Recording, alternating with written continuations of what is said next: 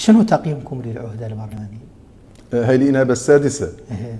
هذه هي أسوأ آه، نموذج من البرلمان الموريتاني من 92 إلى ذاك بسبب ثلاث عوامل.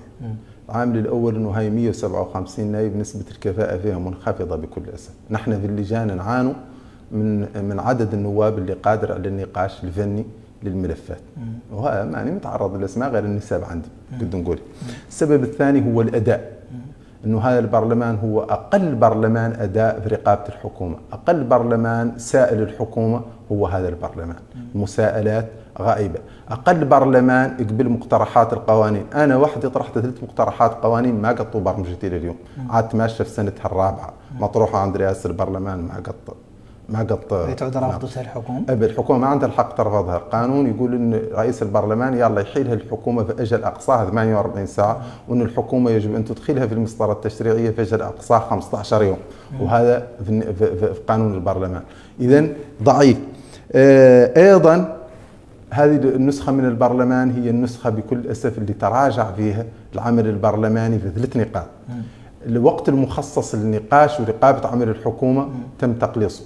المساءلات البرلمان آه، انتقصت من 10 دقائق صار خمس دقائق.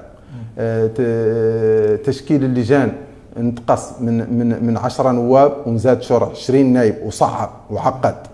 آه، اعتراض على اللجان التحقيق البرلمانية كان بثلثي النواب أصبح بثلثي الحاضرين للجلسة سوى الحاضر كم؟ وهذا عمل هذا عمل خطير.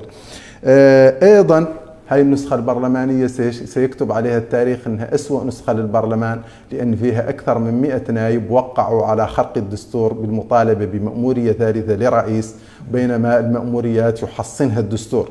نفس الأشخاص بكل أسف في سقوط أخلاقي مريب رجعوا بعد ذلك ووقعوا على ما يسمونه وثيقة المرجعية ضد نفس الشخص اللي كانوا يطالبون له بالمأمورية الثالثة.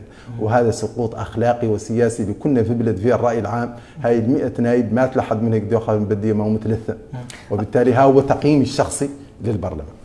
قلت لي أسوأ برلمان من سنة 92 إلى اليوم. أسوأ برلمان من سنة 92 إلى اليوم هو أول برلمان يعدل لجنة تحقيق برلمانية وتوصل النتائج ويصوت عليها لا قد تخلقوا لجان تحقيق برلمانية قال ما عدلت نتائج لا ولو, ولو. ما عدلت عملها؟ ولو. شوف أيضا هاي لجنة التحقيق. هاي لجنة أول التحقيق. لجنة تحقيق نعم. شوف هاي لجنة عمل. التحقيق لا نقول لك بخلاصة أنا من المؤسسين لها. وقعت عليها فقط 24 نائب من أصل 157 نائب.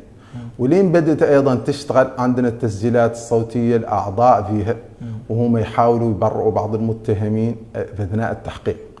وبالتالي آه، كانت من أفضل طبعا هو ما معناه إنه ما عدل شيء صالح. لجنة التحقيق البرلماني من أفضل التجارب اللي عدلت في البرلمان.